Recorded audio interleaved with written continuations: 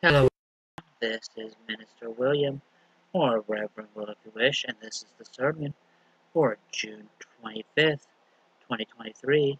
And as always, we'll start with a moment of silence for prayer, meditation, what have you.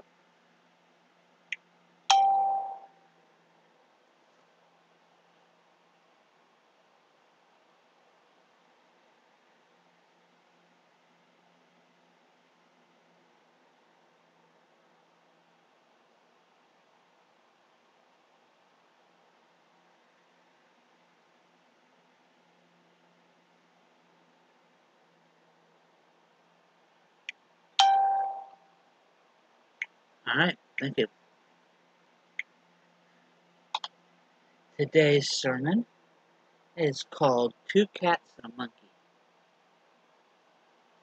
And as always, it is on alltimeshortstories.com.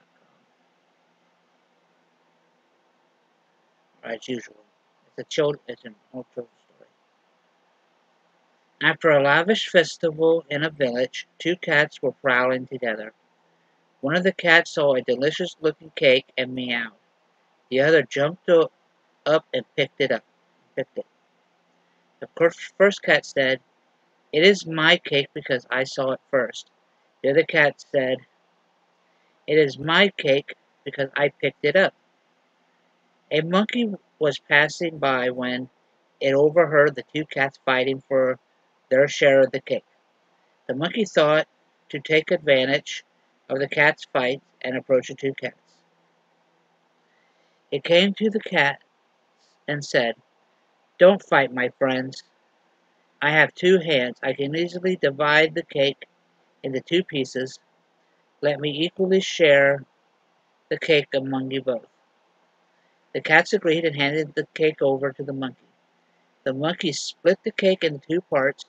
He shook his head and said, Oh no, one is slightly bigger than the other. Let me take a bite of the bigger one so that it is as big as the other one.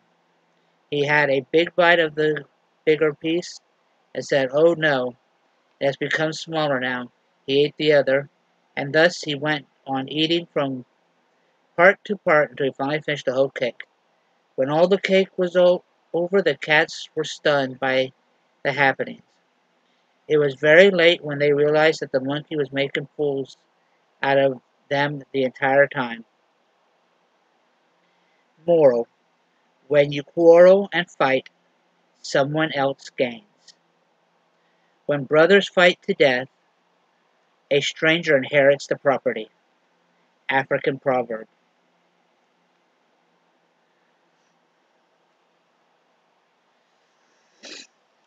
Too many people these days are uh, fighting amongst themselves, being stupid. You can mostly uh, see this uh, when it comes to political groups.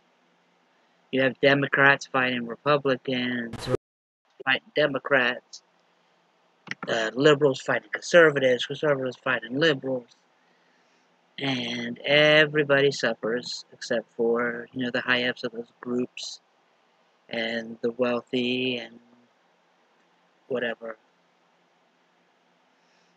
The world is keeping divided because everyone's fighting over stupid stuff.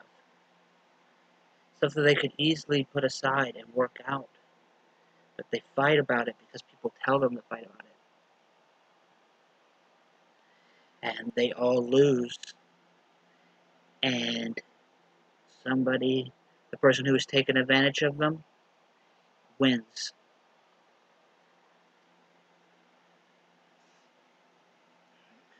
What you need is not to fight over stupid things. Work out your problems. Because the person who is always, eh, there's usually a person putting you and the person you're fighting with against each other. And they're the ones getting the, all this, getting everything out of, of it. You can't let them do that. Step back and ask yourself and the person you're fighting with, is this really worth it? What are we fighting for? What do we gain from this? If you don't gain anything, try to figure out who is gaining from your fight.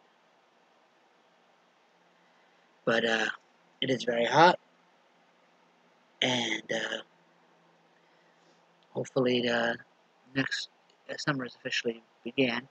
So hopefully soon it will be cooled down. And uh, yeah, remember everyone, we all come together. The possibilities are endless. And I'll see you next week. Bye.